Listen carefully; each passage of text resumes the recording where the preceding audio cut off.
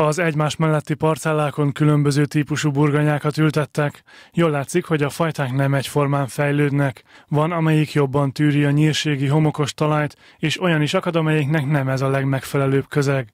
Vinnai Győző a gyulatanyai fajta és növényvédelmi technológiai bemutatón azt mondta, a térségben száz éves hagyománya van a krumplitermesztésnek, és még nagy jövő állhat az ágazat előtt itt mindig mezőgazdaságból értek az emberek, nagyon fontos termékünk a burgonya. Én még emlékszem arra, hogy a főiskolán tanítva azt, hogy a 20-as, 30-as években itt a nyírségi homokot burgonyával és almával kötötték meg. Szerintem a burgonyának van jövője.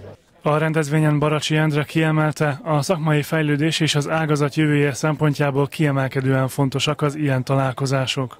Olyan információkhoz juthatnak a termelők, olyan tapasztalatokat oszthatnak meg egymással, illetve a szakemberek olyan tapasztalatokat adhatnak át, olyan tudást adhatnak át, amelyel elősegíthetik azt, hogy Szabolcs-Szatmár-Bereg megyében a burgonya termesztés az valóban olyan szintre kerüljön, ahol annak, ahol annak a helye van.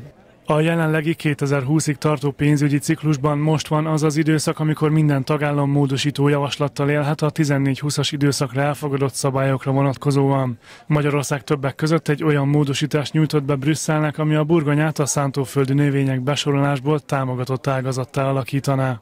A burgonya az bekerülhet a termeléshez kötött támogatású növények közé, ez eddig nem így volt, szántóföldi növénynek minősítették egyszerűen. Ez azt jelenteni, hogy durván egy olyan 8500 hektár burgonya terület, ami legalább egy hektáros, mert ez alapfeltétele ennek a támogatásnak, bekerülhet a, ebbe a támogatotti körbe, és ez egy olyan 61 ezer forint hektáronkénti plusz támogatás jelent, tehát az eddigi teratalapú támogatáshoz képest még. A tanácskozáson részt vett Gyurica Csaba, az MVH elnöke is, aki arról beszélt, hogy 2020 után várhatóan jelentős változások lesznek a normatív alapú támogatásokban.